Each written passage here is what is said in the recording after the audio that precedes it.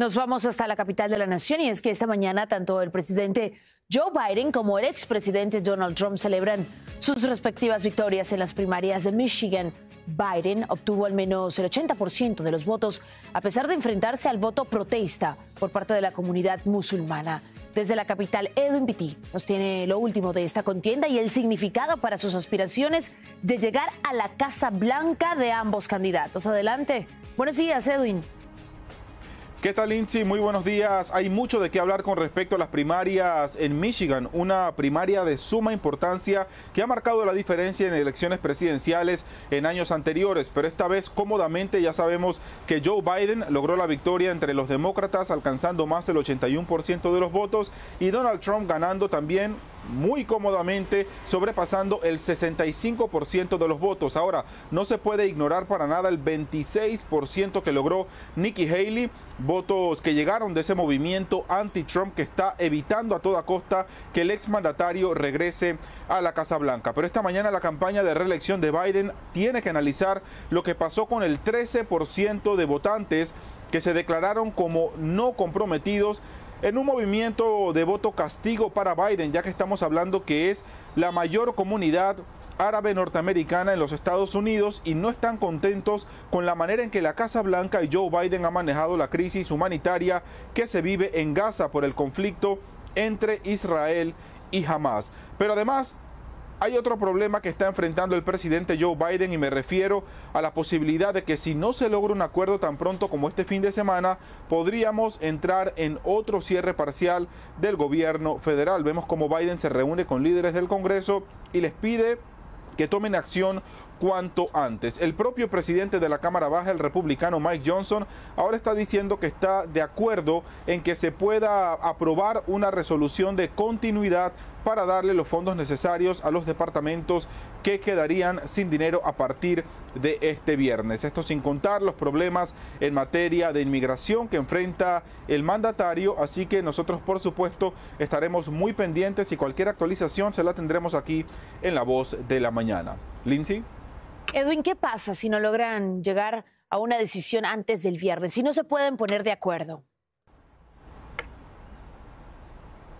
Sí, si no se logra un acuerdo, Lindsay, estamos hablando que serían cuatro los departamentos que a partir de este viernes quedarían sin dinero. Son los departamentos de agricultura, los de transporte, de veteranos y también de vivienda y desarrollo urbano. Pero como dije anteriormente, hay expectativa por lo que ha dicho Mike Johnson de aprobar esa resolución de continuidad que le daría dinero a estos cuatro departamentos hasta el próximo viernes 8 de marzo y extendería el financiamiento para el resto del gobierno federal hasta el próximo 22 de marzo, pero hay muchos republicanos que no están de acuerdo con la poca celeridad que se le está dando al proceso e insisten en que esto se debió haber hecho hace demasiado tiempo para poder analizar minuciosamente todo lo que incluye el proyecto de ley que ofrece el financiamiento del gobierno federal. Soy Edwin Pitti reportando desde Washington. Vuelvo contigo al estudio. Y después de que autoridades mexicanas instalaron dos campamentos militares en la zona de cruce de Tecate. Ahora los migrantes que intentan cruzar están buscando otros puntos de entrada y en algunos casos muchos más peligrosos y mortales que los anteriores. Claudio Orozco nos amplía.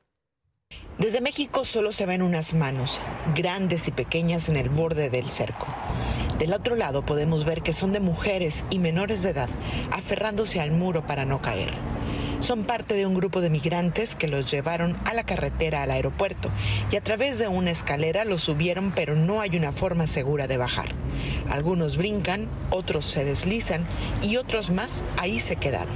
Mientras apretamos en esta zona de Jacumé, se están yendo otra vez hacia zona norte de Tijuana a la canalización del río Tijuana. Fue necesaria la presencia de bomberos de San Diego para poder bajarlos a salvo. De este grupo todos salieron con vida, pero este otro que corrió e intentó ingresar por el carril de exportación no tuvieron la misma suerte. Uno de ellos resbaló y lamentablemente perdió la vida al caer.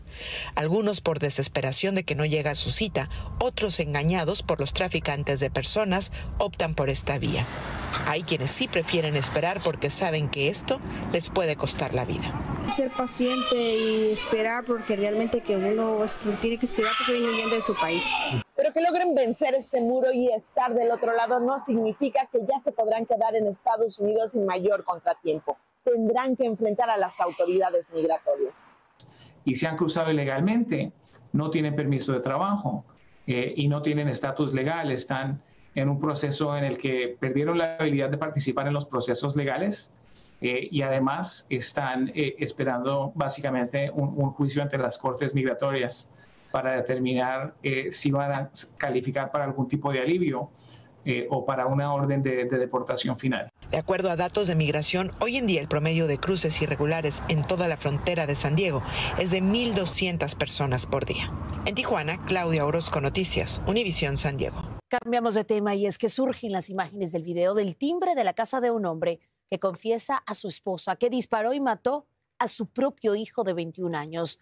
Nuestra compañera de Univisión 23, María Fernanda López, nos muestra la desgarradora conversación que terminó con su arresto. Is he alive? Is he breathing? Oh, he's not breathing. He's dead. Es el momento en que David Contreras sale a la puerta de su casa y habla con su esposa a través de la cámara de vigilancia, confesándole que le disparó mortalmente a su hijo Eric. But why, David? Why?